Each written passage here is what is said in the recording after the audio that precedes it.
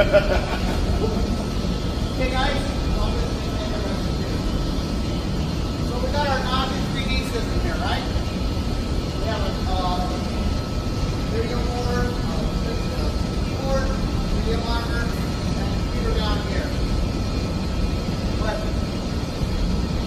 you gotta know what you're trying to measure when you're measuring something, right? Has every electronic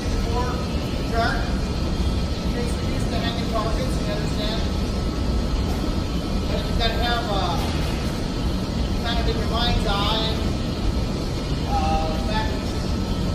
This is your opportunity to do a post-compare inspection.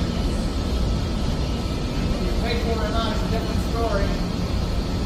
But sometimes in some states, you can be liable for not telling somebody about some damage previously done that wasn't repaired correctly, or was not fixed, or never fixed. You don't want to be responsible for, right? So this is your opportunity to inspect the not just. Does that make sense? That's just something I wanted to say, because I want it on video so I can share it with everybody else out because I don't always talk about that stuff when I'm training. Okay, so with our novice 3D electronic measuring 3D, what's that mean? Three dimensions, length, width, height. Referred to on the computer at times as X, Y, and Z. Okay, you can change it to what you like. Uh, desktop service, alright? Uh, this over here is the measuring rail. Then we have a measuring head in the back of this cabin that we're going to put on here. Well, what's important about rail is to know that there's a front and a back. Okay? The front piece is sit at the front of the car.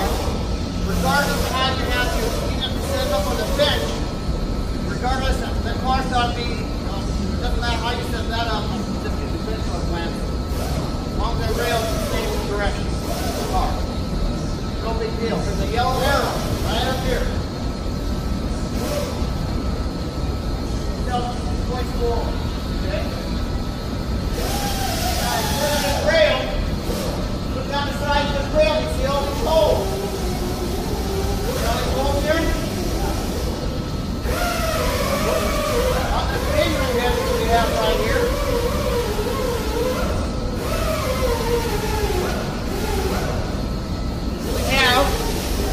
Later, the council of whole went traveling down the track.